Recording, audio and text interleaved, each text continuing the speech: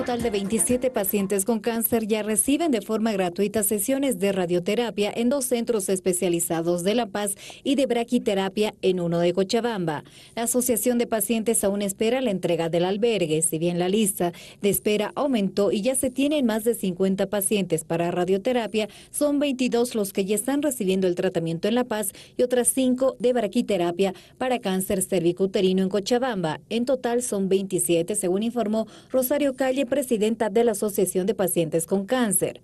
Los pacientes reciben las sesiones en el Instituto Boliviano de Radioterapia y Oncología IBRO, en El Alto y en Oncoservice de la zona sur de La Paz. El tratamiento de braquiterapia se realiza en el Hospital de la Caja Petrolera en Cochabamba. Aclaró que los beneficiarios del servicio gratuito no solamente son pacientes del Departamento de La Paz, pues de igual forma acceden las personas que llegan al Hospital de Clínicas de otras regiones, quienes también están en la lista de espera de la asociación. Bendición.